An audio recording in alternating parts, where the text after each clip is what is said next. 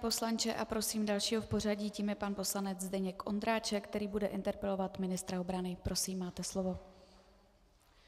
Děkuji, paní předsedající, kolegyně, kolegové, pane ministře, na úvod děkuji, že jste přítomen interpelacím a že můžeme tedy takto diskutovat, jste jeden z mála, který sem chodí a dochází, děkuji. Dne 26. 11. jsem vás na tomto místě interpeloval ve stejné věci a vy jste mně v úvodu vaší odpovědi sdělil, že by bylo dobré občas ředit si některé analytické výstupy pana Štefce ještě nějakým jiným zdrojem. Vzhledem k tomu, že se nechám rád poučit, tak jsem to udělal a našel si několik vyjádření amerických penzionovaných generálů. Jeden z nich, generál letectva, řekl, že sestřel ruského Su-24 musel být Turky dobře dopředu naplánovaný, protože ruské letadlo nebylo v tureckém vzdušném prostoru dostatečně dlouho ani hluboko v území Turecka a jeho činnost nevykazovala známky nepřátelského chování vůči Turecku. Druhý generál dokonce řekl, že by samotné NATO mělo vyzvat Turky k vystoupení z Aliance.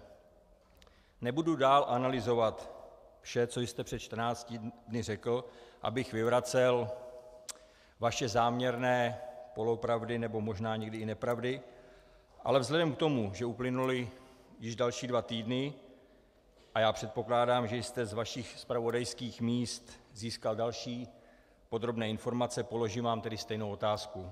Jaké je stanovisko Ministerstva obrany k aktu sestřelení ruské Su-24 tureckou armádou? Děkuji za odpověď.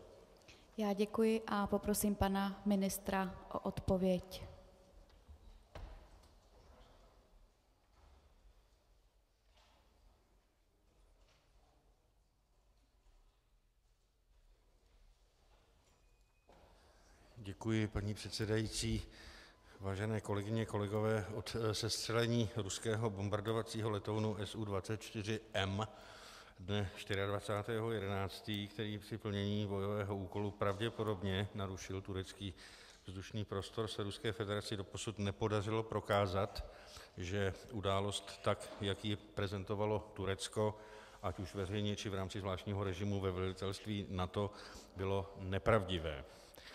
Nejednalo se o první incident tohoto typu, během posledních týdnů narušily ruské síly vzdušný prostor opakovaně. NATO, jehož je Turecko, jak známo, členem, již v minulosti vyjádřilo své znepokojení nad vojenskými aktivitami Ruské federace v blízkosti svých hranic a turecké ministerstvo zahraničních věcí v této souvislosti předvolalo velvyslance Ruské federace k podání vysvětlení. Od vlastního incidentu došlo k prudkému ochlazení diplomatické, obchodní i vojenské spolupráce mezi Tureckem a Ruskou federací, včetně uvalení řady sankcí ze strany Ruska.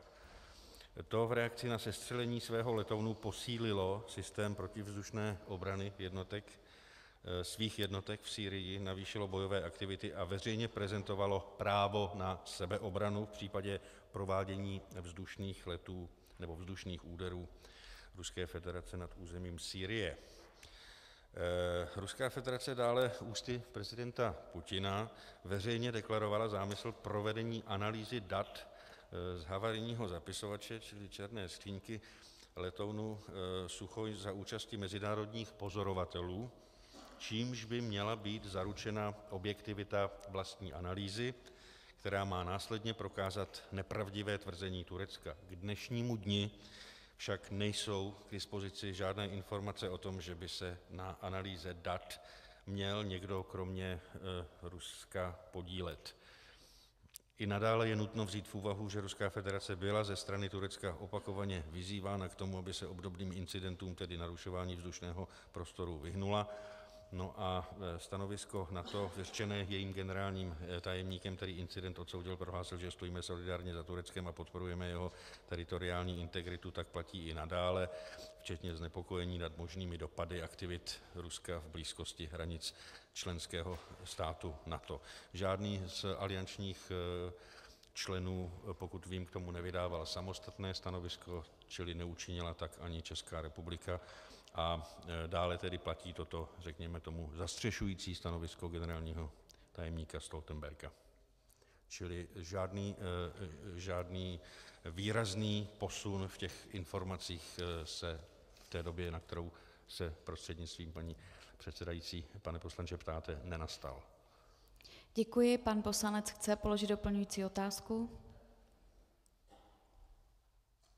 prosím, tak otázka zněla, jaké je naše stanovisko, dozvídám se, jaké je stanovisko NATO, samozřejmě chápu, že to, co řekne NATO, je i naše stanovisko, já bych v této věci chtěl říct nebo konstatovat to, co bylo konstatováno generálem americké armády, že to narušení vzdušného prostoru nebylo takové, aby muselo dojít k sestřelení toho letadla, chtěl bych říci, že ruské letectvo porušilo vzdušný prostor jiného členského státu NATO, a to Řecka, v několika set, možná tisících případech, to během toho minulého roku, nesčetněkrát porušilo vzdušný prostor Sýrie a Iráku, naposledy včera v noci turecké stíhačky porušily vzdušný prostor Iráku a shodily pumy v oblasti Al Imádia v provincii Dahuk, já nevím, do jaké míry pro koho platí mezinárodní právo, ale pokud nebudeme všem měřit stejným metrem,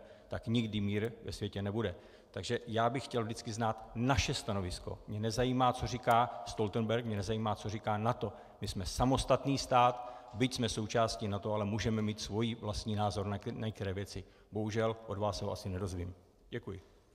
Pane ministře, prosím o reakci.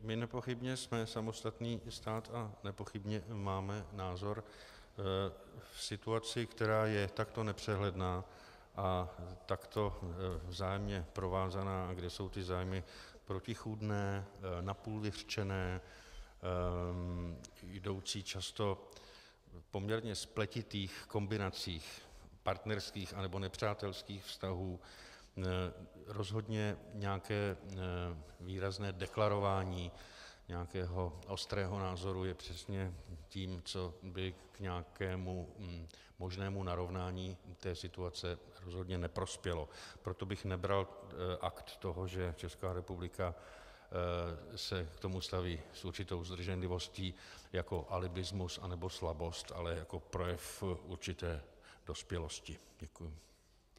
Já děkuji.